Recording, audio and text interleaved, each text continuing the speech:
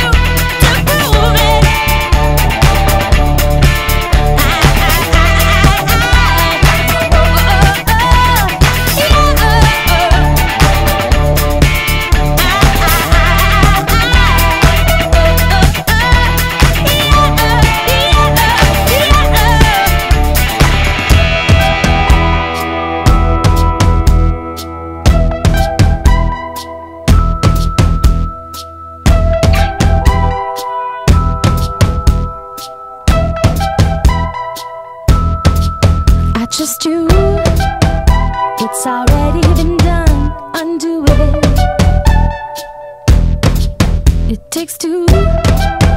It's up to me and you to prove it.